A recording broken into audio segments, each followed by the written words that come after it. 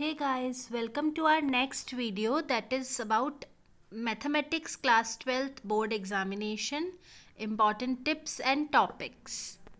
So now quickly moving to the first chapter that is relations and functions.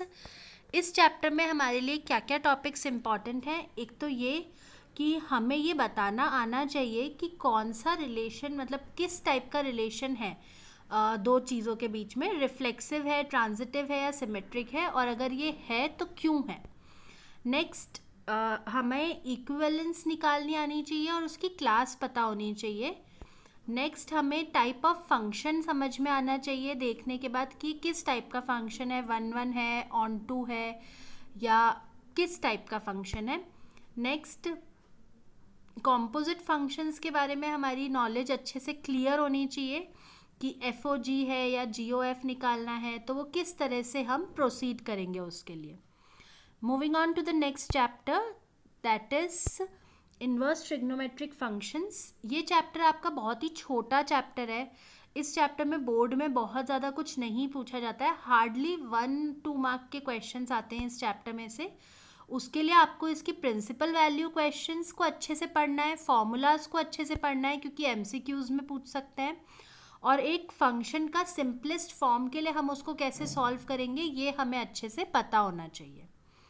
Now moving on to the next chapter that is chapter number three matrices ये बहुत ही interesting chapter है, बहुत ही easy chapter है।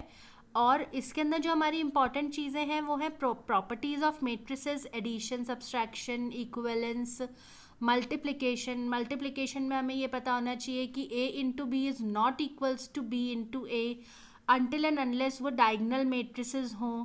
मतलब हमें हमारे दिमाग में प्रॉपर्टीज़ एकदम क्लियर होनी चाहिए ताकि हम वन मार्क टू मार्क के क्वेश्चंस को इजीली अटेम्प्ट कर पाए।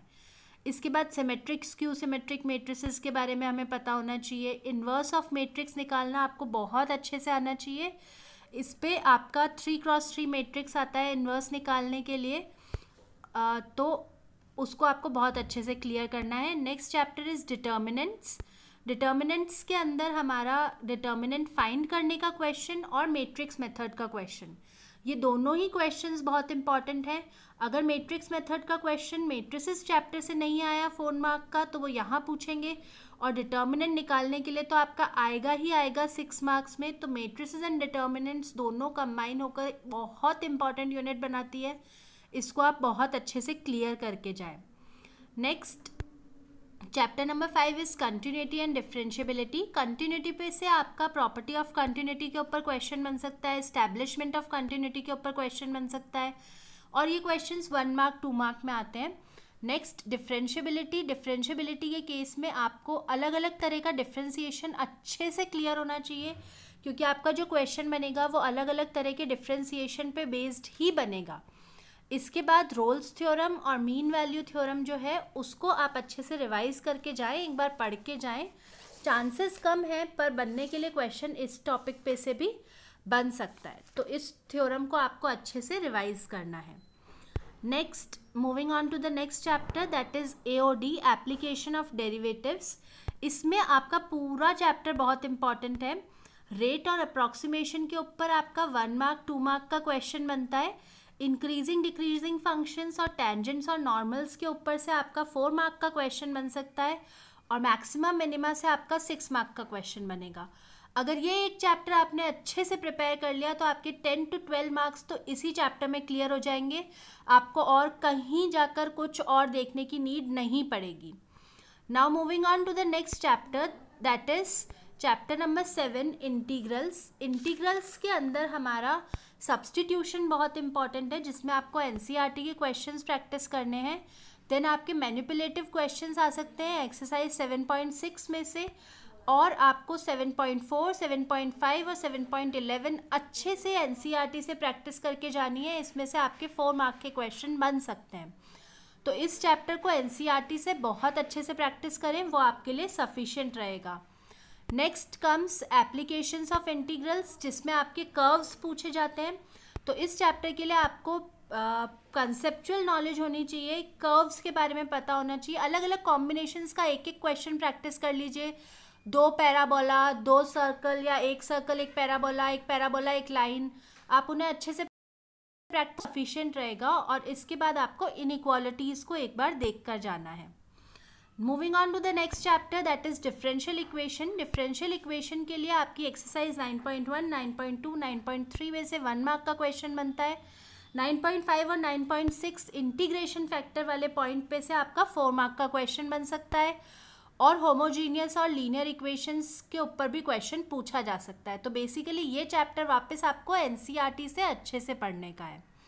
इसके बाद हम नेक्स्ट चैप्टर पे आते हैं दैट इज़ वेक्टर एल्जेब्रा ये चैप्टर आपका कम्प्लीटली एन से ही बनकर आता है इसका क्वेश्चन आपकी बेसिक नॉलेज क्लियर होनी चाहिए for one mark two mark question उसके बाद जो सप्लीमेंट्री पार्ट गिवन है सप्लीमेंट्री एक्सरसाइज गिवन है को प्लानर पे बेस्ड है जो, वो आपको क्लियर करनी है ताकि आपका फोर मार्क का क्वेश्चन आप इजीली सॉल्व कर पाओ।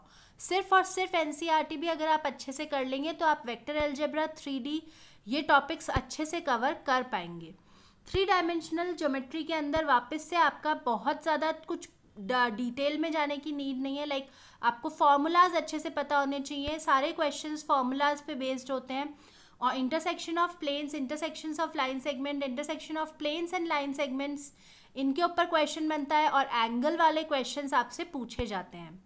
Next comes L P P यह आपका बहुत ही फुद्दू चैप्टर है। एकदम छोटा सा प्यारा सा चैप्टर है जिसमें से आपका फाइव मार्क का पेप क्वेश्चन आएगा। वन मार्क का क्वेश्चन आएगा बेसिक पे से और फोर मार्क का क्वेश्चन आएगा आपकी एक्सरसाइज में से। आपको इजीली लाइंस ड्रॉ करनी है, किस तरफ़ शेड हो रहा है उसको ध्यान से देखना है और अपना आंसर लिखना है।